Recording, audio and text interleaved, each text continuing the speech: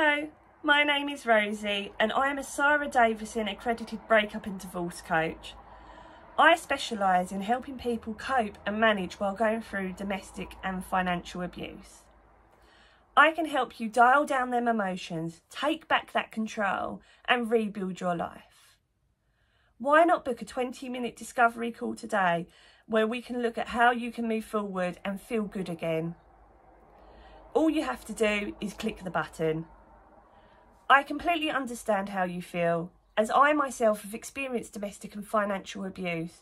It's so difficult to go through that alone. And that's why I'm so passionate about helping you rebuild your life. I look forward to speaking to you soon.